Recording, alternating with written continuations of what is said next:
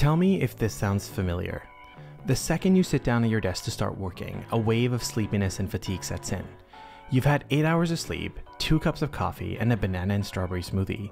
How could you possibly still feel tired? Yet here you are, fighting the urge to have another nap that will most likely turn into a 2 hour snooze fest. If that sounds familiar, I'm here to tell you not to worry, because you are not alone. In addition to myself, according to a community-based epidemiological study, 15 to 25% of the general population suffer from mental tiredness or fatigue. In fact, half of these people suffer from chronic or long-term fatigue, which means they felt continuously tired for a period of longer than a month.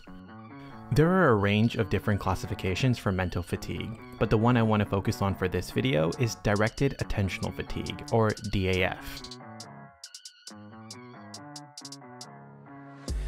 DAF is a neuropsychological phenomenon that is as a result of an overuse of the brain's inhibitory mechanisms. These mechanisms allow our brain to focus on a particular task by zoning out the distractions around us. This is how you're able to focus on your friend's voice in a crowded and noisy room or read on a busy train.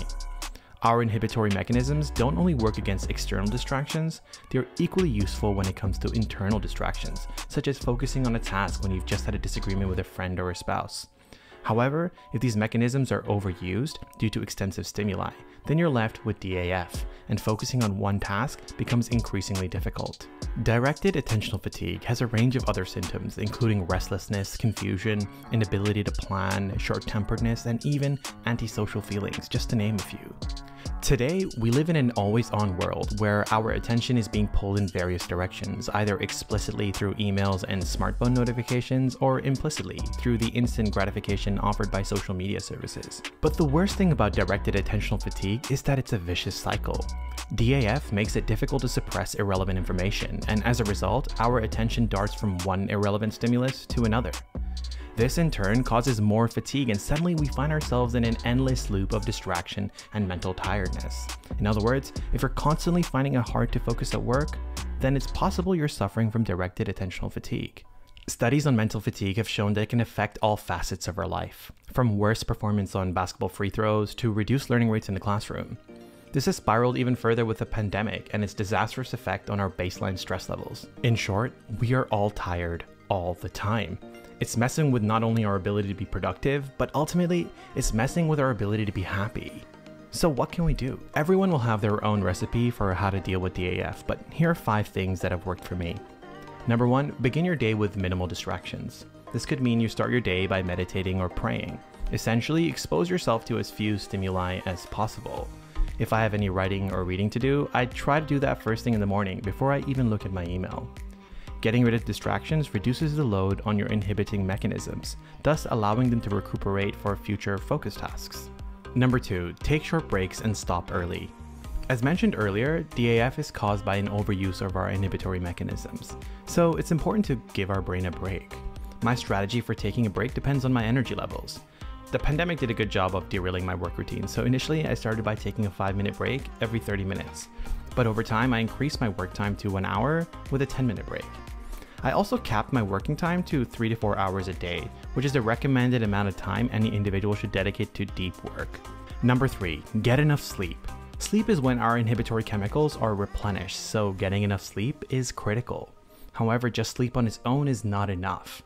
Good sleep preparation habits can play a big role in how well you recover from mental fatigue. One thing I find that helps is using blue light reflective glasses. I also try to stop screen time at least an hour before bed. Also, avoid revenge sleep procrastination. I did this a lot during my PhD. I felt guilty for not getting enough work done during the day, so I postponed sleep. The thinking behind the idea was that I would feel better if I managed to get an hour of work done before bed. I was wrong, and this is generally a terrible idea. Any work I did was done with suboptimal focus and reduced attention, and this decision made me more mentally fatigued the next day, ultimately diminishing my focus even further. Number 4. Experience nature. One of the key aspects of attention restoration theory is the immersion in nature. Taking walks in the forest, fields, mountains, beaches as frequently as possible has shown to be helpful in restoring our ability to focus. Personally, anyone who knows me knows I love my long walks. One hypothesis for why nature is beneficial for attention restoration is that nature allows our brain to enter the default mode network, DMN, sometimes called wakeful resting. This wakeful resting facilitates our inhibitory chemicals to recover. Also, it's just an all round peaceful experience. Number five is gratitude journaling. This is when you write down what you're grateful for, regardless of whether it's big or small. It sounds like something Oprah would recommend because it is something she recommended, but it also has some convincing clinical research supporting it. I must admit, I do not do this nearly enough, but the days I have done this before bed, it's drastically reduced my anxiety and allowed my mind to relax. I slept better as a result, and I've been more focused the next day. Currently, I use Google Docs to take my notes, but I know many people who use Notion or simple old school notebooks to do their gratitude journaling. I want to point out that there are some days that even these tips don't work. I guess that's just part of being human. Our minds and bodies are more connected than we realize, and for us to achieve our goals, both mind and body have to be healthy. We live in a world where we are constantly comparing ourselves, evaluating ourselves, putting pressure on ourselves, and this collective load is what ultimately stops us before we even get started. In my opinion, we have to fight the societal narrative of growth and more and better.